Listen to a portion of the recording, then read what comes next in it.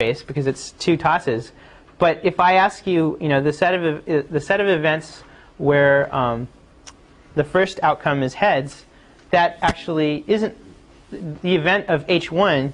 That's not a um, that's that that's an event, but it's not a finest grain event. So if I said if it, the, if, you, if I asked you to describe the event space in terms of um, h1 and t1, that does in fact cover the entire space. It's collectively exhaustive, but what it's not is it's not a sample space because it's not um, finest grain. And you, it, I guess the point is, is that the, the finest grain point is where you stop.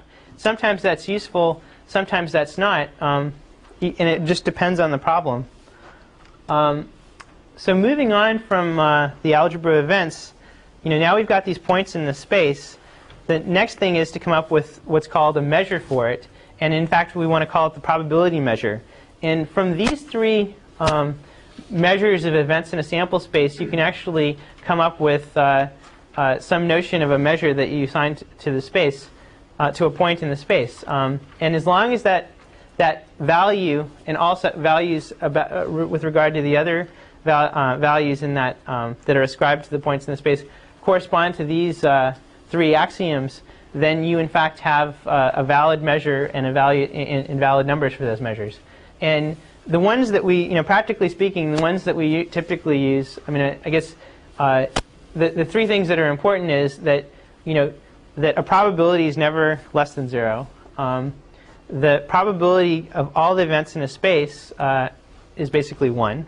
And that causes some normalization in terms of, uh, you know, when I have conditioning events like um, if, if I told you that, uh, you know, what's the probability that uh, that uh, if I flip a coin, uh, that given that it's heads, that that it turned up heads, well, the probability is one, but it's but but but it's you know it's not 2.5 or something like that. Um, you, and then uh, the last piece is that um, if two sets of events don't intersect, then the probability of the set of events that's the union of them is the sum of the two probabilities of the each set of events. Um, and I guess that last part goes back to what I was saying before. And I guess the last part of this, this uh, thing that I'm going to talk about today is um, something that, or actually, before I do that, let me, let me talk about one more type of, uh, type of sample space. Uh, one, one, one, one thing that, that you might do is, uh, uh, you know, talk in two dimensions like uh, if I roll a dice twice, you know, I have, uh, um, you know, this the sample space. Uh, let's see if I if I have a uh, set of events x1 comma x2, where um, x is uh, x sub n is a member of um, you know uh, is a member of 1, comma 2, comma 3, comma 4, let's say. So it's, let's say that it's a, a uh, four-side or tetrahedral die or something like that. If I say here's, uh, here's, two, um, here's two throws of that dice, one way you might describe the um, sample space is if I call this x1 and you know n is uh, the, the number of the die roll um, in x2, then one way you might try to describe the sample space is to put it in two dimensions. Or if it's 10 things and you do it in 10 dimensions, uh, one, two, three, four, um, then these are all the valid sample points. Um,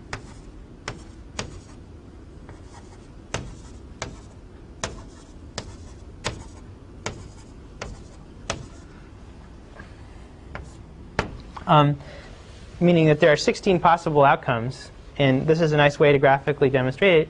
Now say, for example, could someone come up with uh, an interesting set of events that I could describe on this space?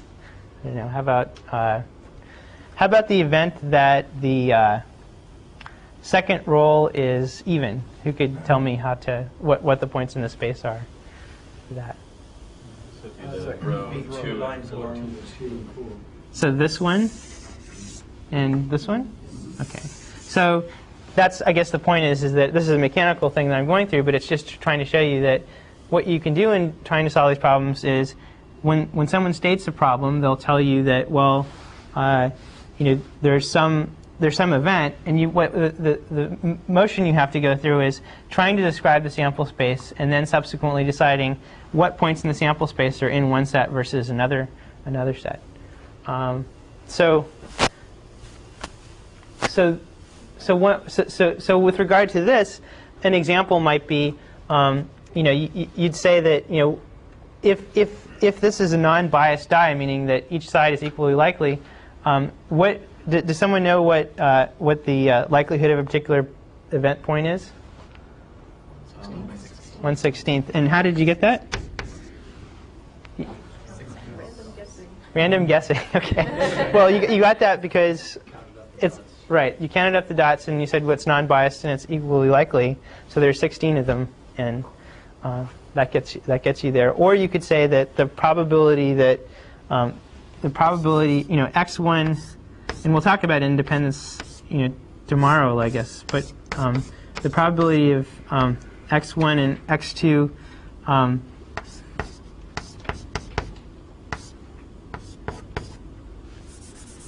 I guess, let's see.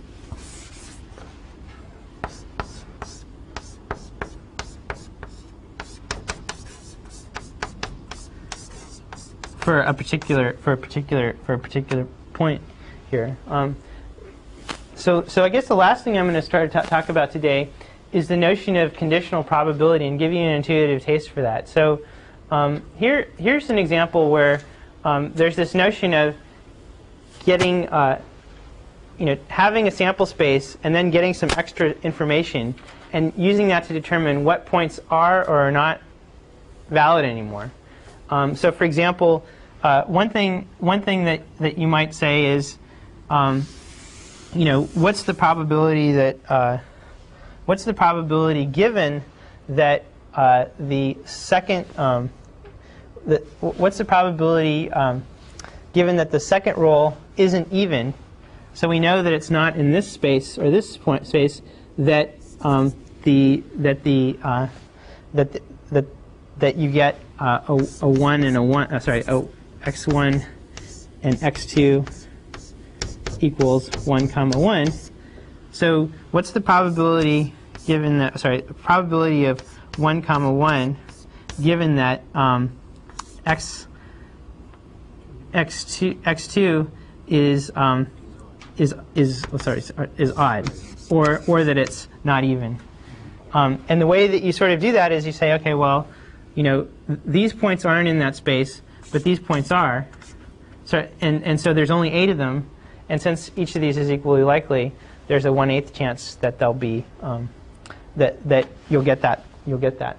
Um, and I, and I, the other thing that I wanted to sort of talk about in terms of an intuitive understanding of this is that basically the probability that A given B, it's equal to the probability of the intersection of A and B um, divided by the probability of B. What, what's that really saying is, is that the um, probability of A, let me go over here, uh, given B is, um, let's see, is, if you look over here, um, if I, if I say what's, what's the set of events given B is, it's this set of events, right? Um, meaning that, sorry, uh, I'm sorry, the, the, the, B, B is this, the, B is this thing inside here. So the, the probability of A given B um, is, well, the set of events is B, and the, the set of events um, A are over here. So that what you do is, is that um, the valid set of points is here.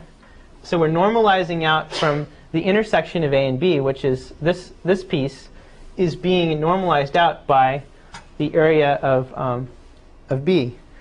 Uh, do, do, peop, do, do, people get that? Or is there anyone that doesn't get that? Because uh, I'd be happy to go over it because I think it's one of the most important points about probability is that these conditioning events, it's just actually normalizing out the fact that you got rid of those events. And um, to be honest with you, that's actually all I had prepared for today's lecture.